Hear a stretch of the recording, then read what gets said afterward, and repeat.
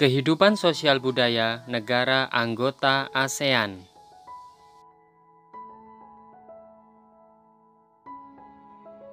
Satu, Brunei Darussalam. Kampung Ayer adalah desa terapung di Brunei Darussalam.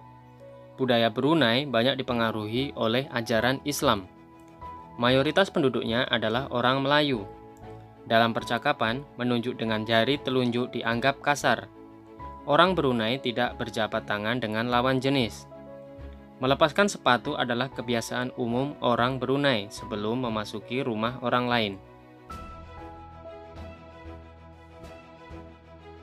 2. Malaysia Patung Dewa Murungga di Malaysia terletak di Batu Kafes, gua yang merupakan salah satu kuil Hindu di luar India yang paling populer. Malaysia memiliki kota yang bernama Georgetown, yaitu kota yang memiliki ragam jenis budaya, banyak gedung peninggalan masa Eropa dan bangunan bernuansa Melayu Tionghoa. Tiga kaum utama di Malaysia adalah Melayu, Cina, dan India. Musik tradisionalnya banyak dipengaruhi oleh budaya Cina, Islam, India, dan Indonesia. Makanan khasnya adalah nasi lemak. 3. Filipina Budayanya hasil perpaduan antara budaya barat dan timur, yaitu budaya Melayu, Cina, dan Spanyol. Bahasa Filipina adalah bahasa nasional dan bahasa Inggris sebagai bahasa pengantar untuk urusan perdagangan atau pergaulan. Terhadap orang yang lebih tua, mereka memanggilnya dengan kuya, ate, manong, manang, yang menunjukkan rasa penghormatan. Jabat tangan adalah bentuk salam yang paling sering dijumpai di Filipina. Tarian tinikling merupakan tarian masyarakat Filipina. 4. Indonesia Indonesia merupakan negara yang memiliki banyak pulau. Sebagian besar penduduknya adalah petani dan nelayan. Indonesia juga memiliki banyak suku bangsa, sehingga Indonesia sangat kaya akan budaya.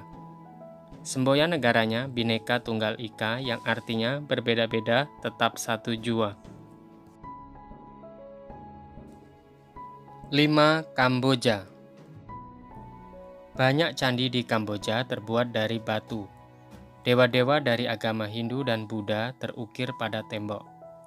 Tari Apsara lahir pada 2000 tahun lalu.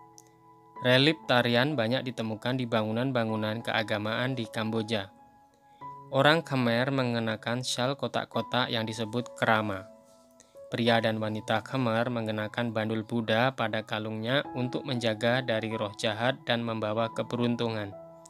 Makanan terkenal Kamboja adalah cha yang berarti tumisan. 6. Myanmar Myanmar disebut sebagai negara seribu pagoda Mayoritas penduduk Myanmar adalah keturunan Tibet. Bahasa yang digunakan adalah bahasa Birma. Pakaian tradisional Myanmar yang disebut Long Ye mirip sarung Indonesia. Namun, kain ini membelit bagian tubuh mereka mulai dari perut hingga betis. 7. Vietnam Permainan menangkap jangkrik dengan mata tertutup adalah permainan tradisional anak Vietnam. Vietnam terkenal dengan baju khasnya yang disebut Aodai. Topi caping pun banyak ditemui di sana. Orang Vietnam gemar duduk di dingklik, yaitu kursi yang sangat pendek. Mayoritas orang Vietnam memiliki nama keluarga Nguyen. Hal ini disebabkan karena dinasti Nguyen berkuasa mulai 1803 sampai 1945 dan merupakan dinasti terakhir di Vietnam. 8. Laos Orang Laos terkenal kesabaran dan kesederhanaannya. Olahraga tradisional di Laos adalah katau, seperti olahraga bola voli namun menggunakan kaki untuk menangkap dan memukul bola. Tahun baru Laos disebut Bun Pimai.